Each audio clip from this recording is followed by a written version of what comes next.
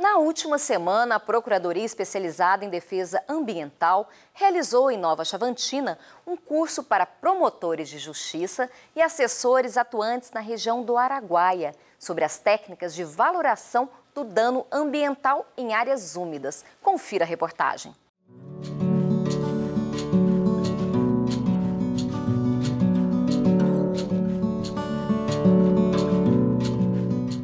Do, do, Pantanal do Araguaia tem um, um papel importantíssimo porque ela está dentro de um sistema que é regulado por dois rios super importantes na região, que é o Rio Araguaia e o Rio das Mortes, e esses rios já estão pedindo socorro há muitos anos. O Rio Araguaia está colapsando, todos os anos a gente vê que os níveis estão cada vez mais baixos, há estudos seríssimos desenvolvidos já apontando que o rio não dura mais 50 anos, que vai desaparecer, e isso é um, é um efeito, um processo em cadeia. Né?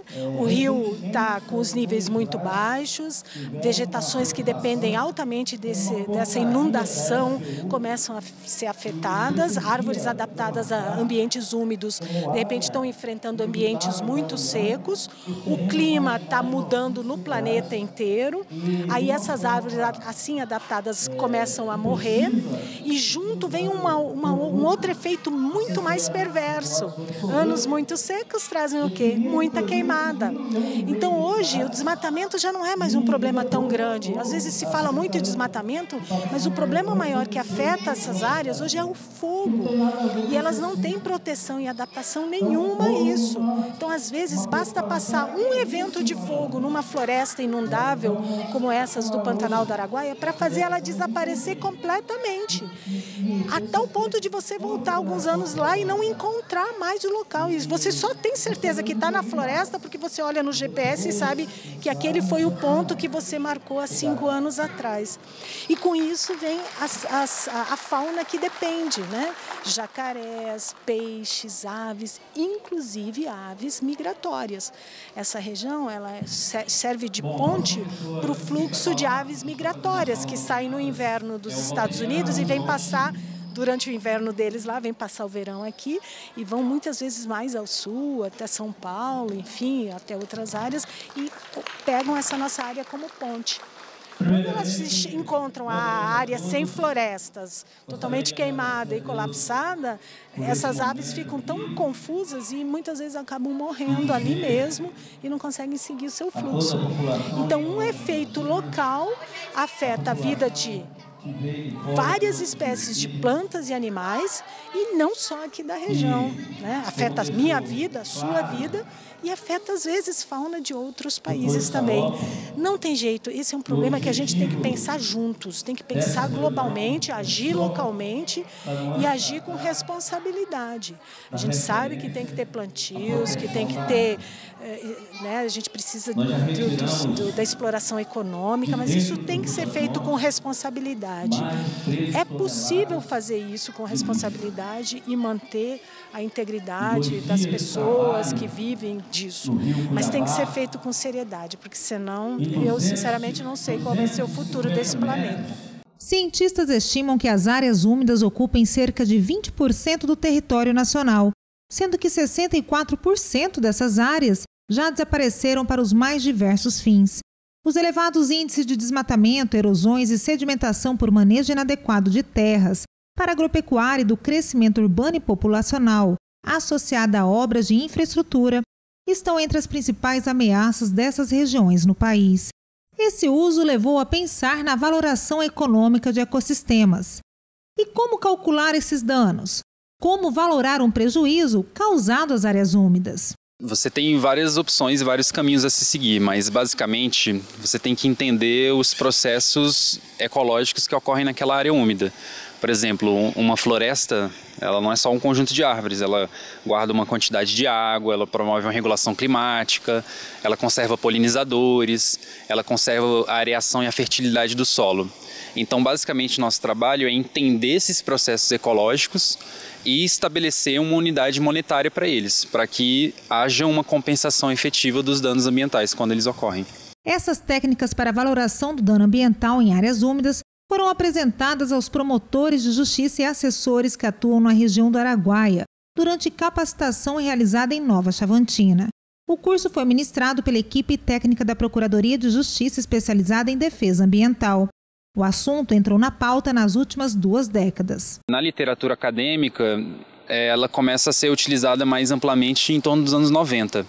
Agora, no âmbito de MPs, no âmbito mais judicial, é algo que só a partir dos anos 2000, 2005 é, começa um uso mais massivo, né? Que tem publicações mais significativas, os dados começam a ser compilados, assim. Mas eu diria que por volta dos anos 2000 que ela começa a ser utilizada. É algo relativamente recente, assim, cientificamente e juridicamente também. Né? Em Mato Grosso existem três grandes áreas úmidas: Pantanal, Pantanal do Guaporé e Pantanal do Araguaia, sendo o Araguaia o maior em extensão.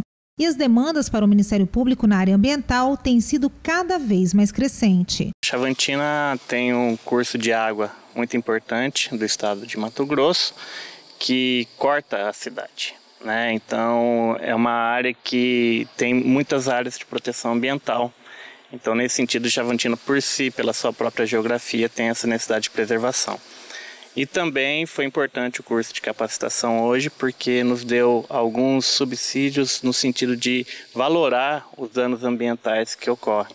Também gostaria de mencionar a questão do córrego do Murtinho, que foi mencionado ontem na reunião pública, porque foi um trabalho iniciado pela colega anterior, Maria Tchelle, e que estamos colhendo os frutos, né, é, em relação à, à conscientização que foi feita à população que lá reside, que mesmo nessa época de seca que estamos vivendo hoje, o Corre, depois de dois anos aí que já está completando o início do seu projeto, é, tem demonstrado que mesmo assim ele está ativo, está vivo, né, com a água corrente e que no final acaba desaguando no próprio Rio das Mortes. Os principais impactos que a gente encontra na, na, nas áreas úmidas do Araguaia, é, eu diria que um dos primeiros é a questão da drenagem. Como é sazonalmente alagável e, e aqui tem atividade pecuária, muitas vezes é, nesse, é o pecuarista ele drena a área para secar aquela área para manter o gado naquele local sem necessidade de removê-lo. Então a drenagem é um dos principais problemas, da drenagem das áreas úmidas, um dos principais problemas aqui no Araguaia. Um outro problema que é bem comum também é a questão da mineração, né? Então aqui a gente tem mineração de diamante, mineração de calcário, e normalmente elas são realizadas em ambientes de interface, assim, aquática terrestre, ou seja, de áreas úmidas.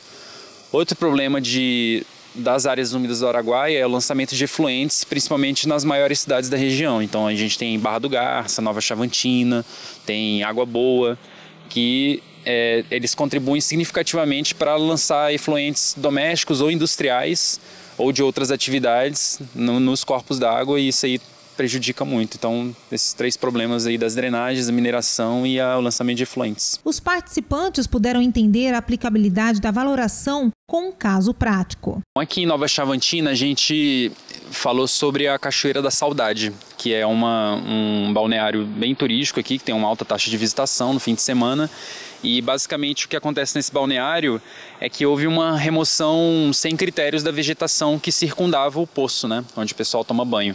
E aí a remoção dessa vegetação, dessa vegetação de área de preservação permanente, de APP, que é a que fica ao redor do, do corpo hídrico, a remoção dessa vegetação está propiciando, ela propiciou uma perda de vários processos ecológicos, então até a própria regulagem climática local, mas principalmente remover essa vegetação está contribuindo diretamente para que esse poço, essa cachoeira esteja sendo assoreada. Então a gente utilizou esse caso prático aqui da promotoria, que a gente conseguiu é, usar um exemplo do dia a dia deles, né, da atuação deles na Cachoeira da Saudade, que aí nesse caso é mais relativo à remoção da PP, da vegetação. O conhecimento das metodologias compartilhadas foi aprovado pelos participantes. Foi um evento muito positivo feito pela MP aqui na comarca de Nova Chavantina. É até porque a temática da água, áreas úmidas, não é só em relação a uma cidade, é, não há fronteiras em relação à água, né? envolve toda a região do Araguaia. Então foi bem importante esse evento para coordenar os esforços também das atividades do MP na região. Esse tipo de conversa, esse tipo de colaboração da, da sociedade civil com o MP foi muito relevante para a gente entender o que eles querem, o que eles entendem da região, para nortear nossa atuação aqui em Chavantina, não só na Chavantina, mas também em todo o Araguaia, que abrange Querência, abrange Canarana, abrange São Félix, enfim. É uma atividade coordenada do MP em toda a região.